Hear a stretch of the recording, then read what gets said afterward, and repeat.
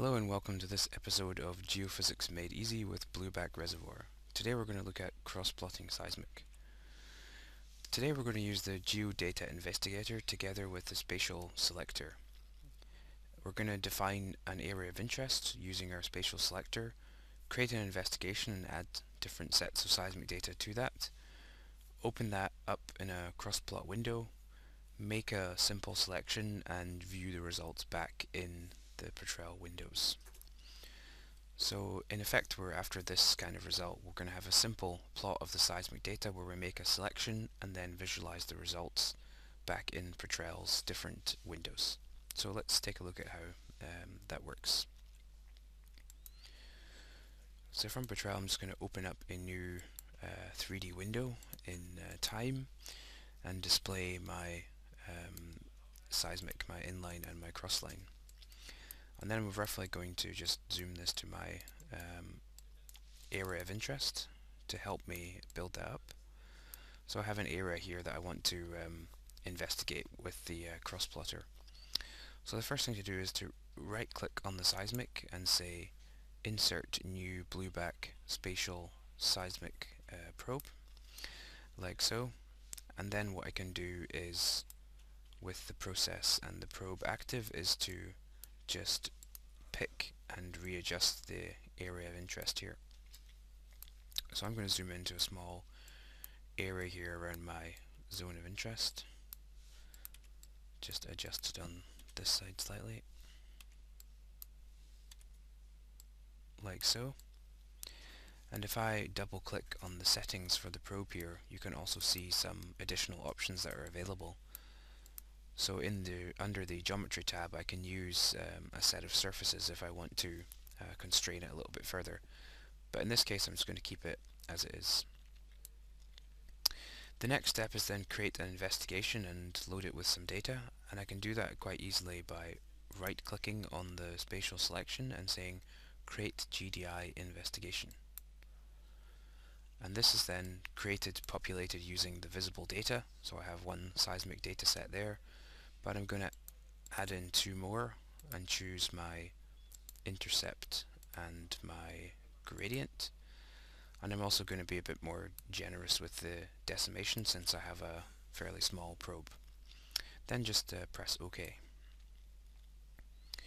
Next, once this is created, right click on the investigation and say show in blueback crossplot window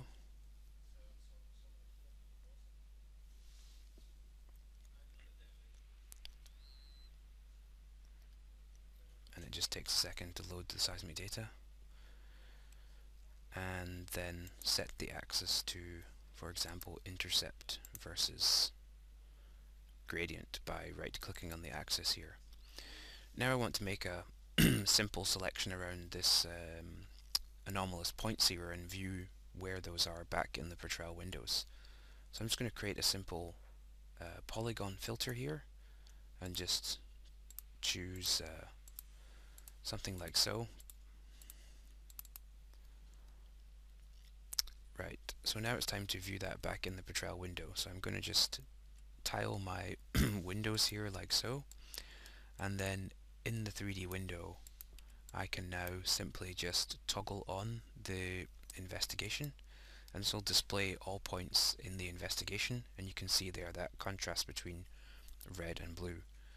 So to make things a bit easier I'm just going to go to the Petrel window style here and filter off the red objects and there I have then just the zone of interest that I want. So now I'm going to show how we can be a little bit interactive with this. So first of all I could easily just move my selection in the crossplot window here and it will change the points in the display here and once I'm happy with a nice uh, constraint here over a selection of points I then want to maybe expand the probe a bit to include a few more. So then I'm going to expand the probe out by dragging the handles like so and then I'm just going to right click on the investigation and say refresh points.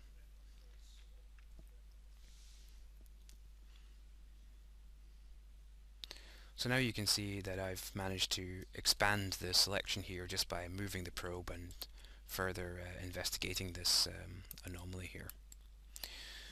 In addition, what I want to show is that we can do this kind of work in more than one window. So I can right click on my um, inline here and say create interpretation window. And again, I can then toggle on my investigation as before. And also the probe that I'm using. And again, I'm going to just filter off the non-selected points using the Petrel window style. And here you see I have the probe as before um, in my Petrel interpretation window. And again, this is an interactive process which you can work together with these two windows in place and now I have a few more extra points. Thanks for listening and as always if you have any questions please let us know. Thanks.